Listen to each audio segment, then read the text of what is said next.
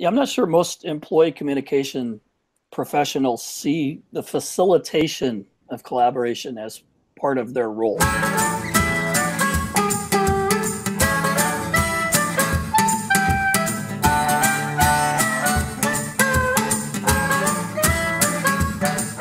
I've surveyed my blog subscribers and clients about you know the adoption of, of uh, enterprise social networks, for instance. And clearly, companies are adopting that technology and using it much more slowly than we would see people using, you know, say social media channels in their personal lives. I, I don't think leaders of companies they have so much invested already in intranets that they're very reluctant to let go of that technology in favor of of newer technologies because they've made the investment. It's already de- been deployed. And then I don't think internal communicators, again, see that as necessarily their role. You know, I look at communications as kind of a three way process.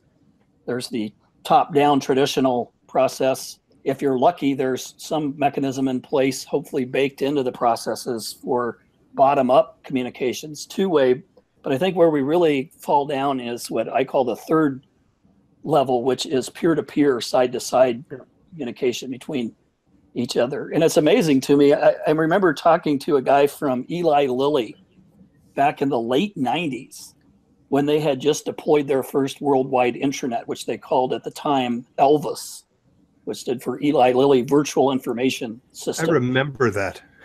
and he predicted, I remember it, I can remember it as if it was yesterday when he looked at me and said, if Eli Lilly only knew what Eli Lilly knows, meaning that there's so much untapped knowledge within this giant global organization.